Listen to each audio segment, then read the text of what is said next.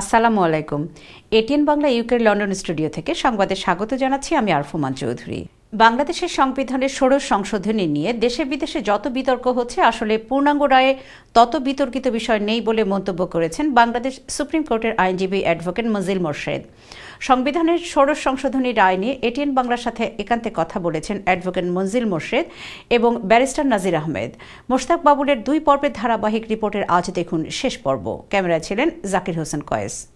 Supreme কোর্টের আইনজীবী মঞ্জিল Morshed, ATN বাংলার সাথে কথা বলতে গিয়ে ষোড়শ সংশোধনী নিয়ে বলতে গিয়ে বলেন সংশোধনীর ভিতর এত ডিটেলস সেটাতেই অনেকে দ্বিধান্বিত। কিন্তু ষোড়শ সংশোধনী নিয়ে এটি এত বিতর্ক হওয়ার পিছনে একটি কারণ হতে পারে। সেটি হলো যে এই ষোড়শ সংশোধনী রায়ের ভিতরে এত ডিটেলস বাংলাদেশের যে সাংবিধানিক ইতিহাস বা রাজনৈতিক ইতিহাস, সমস্ত বিষয়গুলো এই রায়ের মধ্যে সম্পৃক্ত হয়েছে এবং আলোচনা এসছে। এই কারণে হয়তো আপনি জানেন যে স্বাধীনতার পর থেকে শুরু করে আজ পর্যন্ত প্রত্যেকটা দলই যারা যারা রাষ্ট্র ক্ষমতায় ছিলেন, তাদের প্রত্যেকের বিষয়টাই কিন্তু এই রায়ের মধ্যে চলে এসছে। বাংলাদেশের এই আইনজীবীর কাছে প্রশ্ন ছিল, বাংলাদেশের বিচার বিভাগ কতটা স্বাধীনভাবে কাজ করছে? উত্তরে সুপ্রিম কোর্টের বিজ্ঞ আইনজীবী। যে স্বাধীনভাবে বলাটা কিন্তু আপনার স্বাধীনভাবে তার নিজের যে মত প্রকাশ রায়ের মধ্যে, সেটির ব্যাপারে কোনো কিন্তু হস্তক্ষেপ কোথাও আসছে এটা সচরাচর দেখা যায় না। কিন্তু অন্য অন্যভাবে কিছুটা আপনার বাধাগ্রস্ত হচ্ছে বিভিন্ন কারণে। ধরেন আইনজীবীরাই কিন্তু বিচারের ক্ষেত্রে বাধা সৃষ্টি করতে পারে। সেই ধরনের কিছু ঘটনা আমাদের আছে। আবার লজিস্টিক সাপোর্টও বিচারের ক্ষেত্রে, স্বাধীন বিচারের ক্ষেত্রে কিছুটা সাপোর্ট সৃষ্টি করতে পারে। আবার সরকার আইন মন্ত্রণালয়ের মাধ্যমে যে নিয়ন্ত্রণ করছেন কিছুটা, সেক্ষেত্রেও কিন্তু অনেক সময় বাধার সৃষ্টি হতে পারে, পরোক্ষভাবে। হবে। ষোড়শ সংশোধন নিয়ে যতটা আলোচনা, কিন্তু তার ভেতর বিচারকদের অপসর নিয়ে অত বেশি বিতর্ক নেই বলেই অভিমত অ্যাডভোকেট মঞ্জিল মোর্শেদের। একটা জিনিস দেখি সেটা হলো যে মূলত যে রায় আমাদের, যে ষোড়শ সংশোধনী যে করেছিল যে বিচারকদের অপসারণের ক্ষমতাটা সংসদের কাছ থেকে যে সুপ্রিম জুডিশিয়াল কাউন্সিলে রাখার জন্য যে আইনটা, রায়টা হয়েছে, এটির ব্যাপারে আমার মনে হয় খুব একটা বিতর্ক নাই। যদিও বিতর্কগুলো এসছে, বিভিন্ন ধরনের আপনার অবজারভেশন বা ল্যাঙ্গুয়েজ নিয়ে বিতর্কগুলো এসছে। এবং সেগুলো আস্তে আস্তে প্রথম যতটা খুব সিরিয়াসলি শুরু হয়েছিল, পরবর্তীকালে কিন্তু সেটা আস্তে আস্তে কিছুটা কমে যাচ্ছে। একই বিষয় নিয়ে বলতে গিয়ে লন্ডনের দায়িত্ব পালন করা আইনজীবী ব্যারিস্টার নজির আহমেদ। আমার মনে হয় যে একটা পজিটিভ দিক হচ্ছে যে ষোলতম সংশোধনী বাতিলের ক্ষেত্রে অ্যাপিলেট ডিভিশন ইউনানিমাসলি ভার্ডিক্ট দিয়েছেন, রায় দিয়েছেন। অর্থাৎ ছয়জন বিচারপতি বাতিলের প্রশ্নে ঐক্যবদ্ধ। কিছু কথা আসছে প্রধান বিচারপতির অবজারভেশন নিয়ে। এখন অবজারভেশন নিয়ে কথা থাকতেই পারে, তো সেইটা পরিবর্তনের একটা তরিকা আছে, একটা পন্থা আছে, সেই পন্থায় যেতে হবে। কিন্তু আমরা যে ডিবেট ডিসকাশন অ্যাটাক বিশেষ করে বিভিন্ন মন্ত্রীদের পক্ষ থেকে কথা বলা হয়েছে। এটা নৃশংসয়ে আমাকে দুঃখ দিয়েছে এবং রক্তক্ষরণ হয়েছে। সংসদের কাছে বিচারপতিদের অপসারণ বিষয়টি নিয়ে বলতে গিয়ে লন্ডনের আইনজীবী ব্যারিস্টার আহমেদ বলছেন।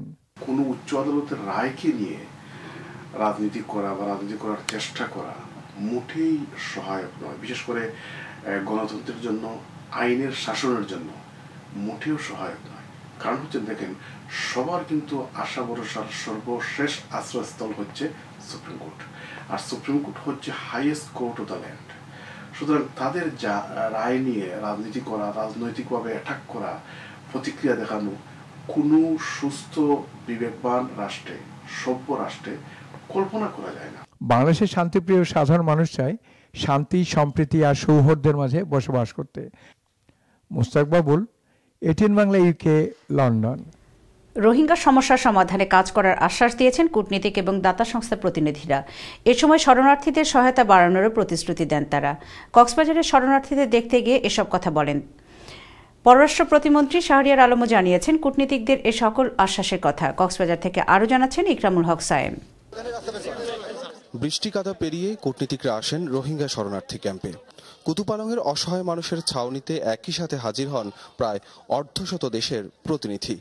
আসেন জাতিসংঘের বিভিন্ন সংস্থার প্রধানরাও। নিজেদের চোখে দেখেন কতটা মানবেতর জীবন যাপন করছেন আশ্রয় নেয়া শরণার্থীরা। কূটনীতিকরা রোহিঙ্গাদের দুর্বিষহ অবস্থার পাশাপাশি মিয়ানমার সরকারের নির্যাতনের বিবরণও শোনেন তাদের কাছ থেকে। এ সময় বিদেশি প্রতিনিধি দলের সাথে ছিলেন পররাষ্ট্রমন্ত্রী এ এইচ মাহমুদ আলী ও প্রতিমন্ত্রী শাহরিয়ার আলম। অসহায় মানুষদের আশ্রয় দেওয়ায় বাংলাদেশের প্রশংসা করেন কূটনীতিকরা। একই সাথে মিয়ানমারে রোহিঙ্গাদের ফিরিয়ে নিতে নিজ দেশে আলোচনা করবেন বলেও জানান তারা। অন্যান্য দেশের মতো আমাদের সরকারও রোহিঙ্গা সমস্যা সমাধানে নানা পদক্ষেপ নিয়েছে। আমি বাংলাদেশ সরকারকে ধন্যবাদ জানাচ্ছি উদ্বাস্তু রোহিঙ্গাদের আশ্রয় দেওয়ার জন্য।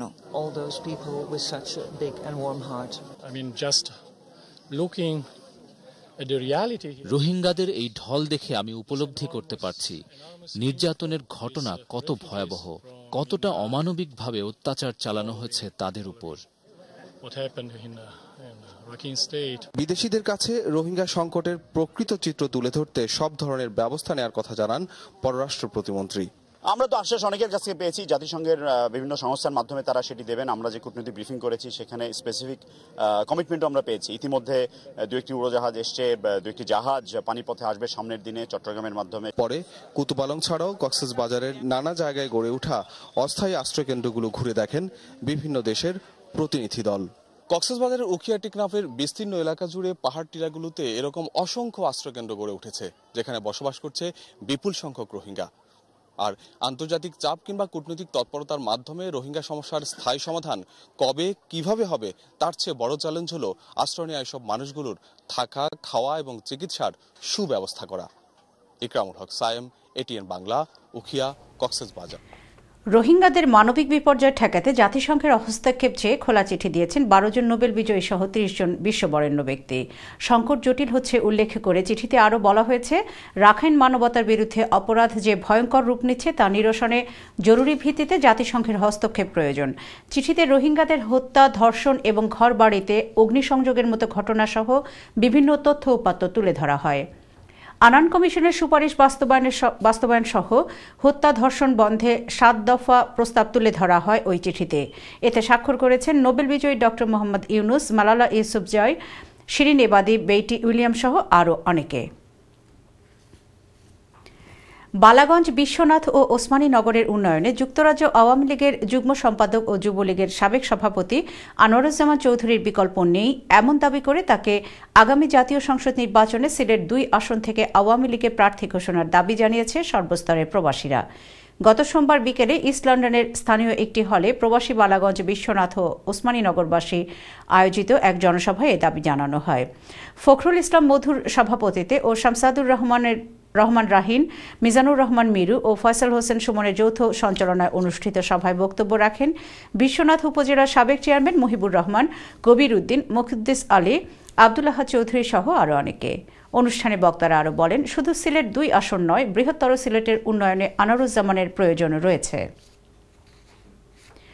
জাতীয় পার্টির যুক্তরাজ্য শাখার আহ্বায়ক কমিটি সভা পূর্ব লন্ডনের স্থানীয় একটি কমিউনিটি হলে অনুষ্ঠিত হয়েছে। সংগঠনের আহ্বায়ক কাউন্সিলর শামসুল ইসলাম সেলিমের সভাপতিত্বে এবং সদস্য সচিব শাহেদ আহমেদের পরিচালনায় অনুষ্ঠিত সভায় অতিথি হিসেবে উপস্থিত ছিলেন সাবেক সাংসদ মাকসুদ ইবনে আজিজ লামা। বিশেষ অতিথি হিসেবে উপস্থিত ছিলেন ইউরোপিয়ান কোঅর্ডিনেটর মোহাম্মদ মুজিবুর রহমান। বক্তব্য রাখেন মোহাম্মদ জাহাঙ্গীর আলম, কেন্দ্রীয় কমিটির সদস্য অ্যাডভোকেট মোহাম্মদ এবাদ হোসেন, নিজামুদ্দিন শাইক রহমান রমজান আলী এবং সাহাবুদ্দিন। বক্তারা রোহিঙ্গা নির্যাতন বন্ধ করার জন্য বার্মা সরকারের প্রতি আহ্বান জানান। লন্ডন শহরের বাইরে প্রথমবারের মতো কবিতা স্বজনের উদ্যোগে অনুষ্ঠিত হল কবিতা ঈদ আড্ডা। ব্রিটেনের বিভিন্ন শহরের কবি ও সাহিত্যপ্রেমীদের উপস্থিতি ঘটে উক্ত অনুষ্ঠানে। আমাদের প্রতিনিধি বদরুল আলমকে সাথে নিয়ে রিপোর্ট করছেন মোহাম্মদ ওয়াসিউদ্দিন তালুকদার রায়হান। শব্দের ছন্দময় ঝংকারে সোমবার কবিতায় ঈদ আড্ডা আয়োজন করে কবিতা স্বজন। লন্ডন সিটির বাইরে এই প্রথম মিডল্যান্ডসের ঐতিহাসিক কভেন্ট্রি সিটিতে কবিতা স্বজনের এই ভিন্নধর্মী আয়োজনে ব্রিটেনের বিভিন্ন সিটির কবি ও কবিতা বান্ধবদের উপস্থিতি ছিল দৃষ্টিনন্দনীয়। কবি এ কেম আবদুল্লাহ, মোহাম্মদ ইকবাল, এম মুশাহিদ খান, শামীম আহমেদ, মোহাম্মদ মুহিদের ঈদ শুভেচ্ছা জানানোর মধ্য দিয়ে সন্ধ্যা ছটায় শুরু হয় অনুষ্ঠান। কবি ও সাংবাদিক তালুকদার রায়হানের সঞ্চালনায় অনুষ্ঠানে ব্রিটেনে কবিতার জাগরণে কবিতা স্বজনের প্রশংসনীয় ভূমিকা উল্লেখ করে মিডল্যান্ডসের সাহিত্যমোদীদের পক্ষে ধন্যবাদ জ্ঞাপন করেন কবি সৈয়দ ইকবাল, সৈয়দ মাসুম, মনোয়ার হোসেন আব্দুল সালাম বাদশা মিয়া, লায়েস মিয়া সহ আরও অনেকে। এরপর একে একে কবিতা, ছড়া, অনুগল্প ও পুঁথিপাঠ পরিবেশনায় উপস্থিত কবিগণ ছাড়াও অংশ নেন কমিউনিটি ব্যক্তিত্ব সুরাব আলী, দেওয়ান আলী আসগর, সলিসিটর মায়া আলী, আব্দুল মুকিদ চৌধুরী, নুরুন্নাহার শাহিন, প্রফেসর আজিজুর রহমান তোফাদার, ফখরুল ইসলাম রিপন, সজ্জাদ আলী প্রমুখ। রাত দশটায় নৈশভুজ পরিবেশনের মধ্য দিয়ে অনুষ্ঠানের পরিসমাপ্তি হয়। Wasiuddin Talukdar Raihan ATN Bangla UK news Coventry বর্ণাঢ্য আয়োজন আর জাঁকজমকপূর্ণ অনুষ্ঠানের মাধ্যমে আগামী সতেরোই সেপ্টেম্বর যুক্তরাজ্যের বার্মিংহামে অনুষ্ঠিত হতে যাচ্ছে পঞ্চমবারের মতো হবিগঞ্জ হবিগঞ্জবাসী মিলন মেলা আমাদের প্রতিনিধি জয়নাল ইসলাম জানান, সোমবার বার্মিংহামের এমটি ক্যাটারিং হলে স্থানীয় প্রিন্ট ও ইলেকট্রনিক মিডিয়ার সাংবাদিকদের সাথে এক মতবিনিময় সভার আয়োজন করা হয়। হবিগঞ্জ সোসাইটি ইউকের প্রতিষ্ঠাতা সভাপতি রানা মিয়া চৌধুরীর সভাপতিত্বে শুরুতেই মেলার প্রস্তুতি সম্পর্কে বিভিন্ন দিক তুলে ধরে বক্তব্য রাখেন সংগঠনের সাধারণ সম্পাদক এম এ মুন্তাকিম, অন্যান্যদের মধ্যে বক্তব্য রাখেন শমসের বক্ত চৌধুরী, রহমত আলী, জিয়া তালুকদার এবি চৌধুরী উপসহ আরও অনেকে। হবিগঞ্জবাসীর এই মিলন মেলাকে সফল ও সার্থক করার জন্য স্থানীয় সাংবাদিক এবং কমিউনিটির নেতৃবৃন্দের কাছে অতীতের মতো সর্বাত্মক সহযোগিতা কামনা করা হয়। সভায় সাংবাদিকদের মধ্যে উপস্থিত ছিলেন মোহাম্মদ মারুফ, সৈয়দ নাসির কাসারুল ইসলাম সুমন, জয়নাল ইসলাম, আমিরুল ইসলাম বেলাল এবং রাজু আহমেদ। আগামী প্রজন্মের জন্য একটি ঐক্যবদ্ধ সমাজ গঠনের আহ্বান জানিয়েছেন ইতালিতে বাংলাদেশ কমিউনিটির শীর্ষ নেতা নূরে আলম সিদ্দিকী বাচ্চু। রোমের সেন্ট সেল্লে ঐক্য পরিষদের অভিষেকে তিনি এ আহ্বান জানান। হাসান মাহমুদের রিপোর্ট। আগামী প্রজন্মের জন্য একটি ঐক্যবদ্ধ সমাজ গঠনের আহ্বান জানিয়েছেন ইতালিতে বাংলাদেশ কমিউনিটির শীর্ষ নেতা ও বিশিষ্ট মানবাধিকার কর্মী নুর আলম সিদ্দিকী বাচ্চু। রাজধানী রোমের সেন্তসাল্লে ঐক্য পরিষদের অভিষেক ও বাংলাদেশ সমিতির নির্বাচিত কর্মকর্তাদের সংবর্ধনা অনুষ্ঠানে সমিতির সাবেক এই সভাপতি জনাব বাচ্চু এই আহ্বান জানান। যেখানে একটা নির্বাচন হয়েছে, একটা সমাজ ব্যবস্থা আছে, চলছে। অন্য কোনো প্রকার তথ্য বা অন্য কোনো প্রকার কোনো কিছু যদি দেখেন সেটার প্রতি কর্ণপাত না করার জন্য। সংবর্ধনা উদযাপন পরিষদের আহ্বায়ক মুজিবুর রহমান শিকদারের সভাপতিত্বে এবং কোষাধ্যক্ষ মোহাম্মদ শামীমের পরিচালনায় অনুষ্ঠানে বাংলাদেশ সমিতির সাধারণ সম্পাদক আবুল কালাম সাইমন, যুগ্ম সাধারণ সম্পাদক মুজাম্মেল হোসেন মোল্লা, নতুন প্রজন্মের প্রতিনিধি তিথি ভুইয়া, ঐক্য পরিষদের প্রধান উপদেষ্টা হায়দুর রহমান সাইদ, সভাপতি আশরাফুল আলম, সাধারণ সম্পাদক আবুল কালাম জাহাঙ্গীর আলম, মিজান মল্লিক সহ আরও অনেকে উপস্থিত ছিলেন। প্রধান অতিথি জনাব বাচ্চু, মায়ানমারে রোহিঙ্গা মুসলমানদের গণহত্যার নিন্দা জানিয়ে আঠারো সেপ্টেম্বর রোমে মহাসমাবেশে অংশগ্রহণের আহ্বান জানান। সংবর্ধনায় নবনির্বাচিত বাংলাদেশ সমিতি এবং শান্তশালী ঐক্য পরিষদের কর্মকর্তাদের হাতে সম্ভাবনা তুলে দেওয়া হয়। হাসান মাহমুদ, এটিএন বাংলা, রোম স্কটল্যান্ডের গ্লাসগোতে বাংলা সেন্টারের উদ্যোগে এবং শাপলা সিটির সৌজন্যে গেল বুধবার ঈদ পুনর্মিলন ও আলোচনা সভা অনুষ্ঠিত হয়েছে। বাংলা সেন্টারের সভাপতি আমিনুল ইসলাম টিটুর সভাপতিত্বে এবং সাধারণ সম্পাদক রেজাউল করিম মিঠু ও ক্রীড়া সম্পাদক এম ডি রহমান মামুনের পরিচালনায় সভায় বক্তব্য রাখেন সিনিয়র উপদেষ্টা জেসিমুদ্দিন আহমেদ, সহসভাপতি আশরাফুল ইসলাম ফয়সাল সহ সাধারণ সম্পাদক মামুনুর রশিদ পলাশ এবং শাপলা সিটির London bureau chief Jahangir Alam Sikdar সহ আরও অনেকে। এই পুনর্মিলনী অনুষ্ঠানে বিভিন্ন দেশ থেকে আসা বাংলাদেশি প্রবাসীদের আন্তরিক ধন্যবাদ জানান আয়োজকরা। বিদেশের মাটিতে এ ধরনের অনুষ্ঠানে ভবিষ্যতে আরও বেশি সহযোগিতা করার আশ্বাস দেন শাপলা সিটির managing director Mohammad Badruddoza. Biswanath aid ইউকের উদ্যোগে আগামী সতেরোই সেপ্টেম্বর রবিবার পূর্ব লন্ডনের স্টেপনি গ্রিন ফুটবল পিচে অনুষ্ঠিত হতে যাচ্ছে দিনব্যাপী eight a side charity football tournament. এতে যুক্তরাজ্যস্থ বিশ্বনাথ উপজেলার স্থানীয় আটটি স্বেচ্ছাসেবী সংগঠন অংশ নিচ্ছে। সোমবার পূর্ব লন্ডনের স্থানীয় একটি রেস্টুরেন্টে টুর্নামেন্টকে সফল করা এবং গ্রুপ নির্ধারণ করার লক্ষ্যে এক সভার আয়োজন করা হয়। এতে টুর্নামেন্টের স্পন্সর প্রতিষ্ঠানের নেতৃবৃন্দ ও টুর্নামেন্টের অংশগ্রহণকারী সংগঠনের নেতৃবৃন্দ উপস্থিত ছিলেন।